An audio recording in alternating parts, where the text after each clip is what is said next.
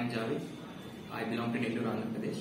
So uh, I, I have placed in uh, Alpha company with a package of 3 LPA.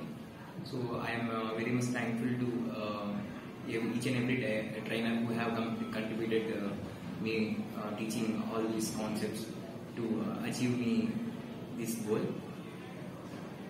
And I would like to thank special thanks to Abhishek sir and Andrew sir for providing me a good knowledge in Java and SQL uh, very helpful in interview for me to get on in uh, different rounds. So thank you.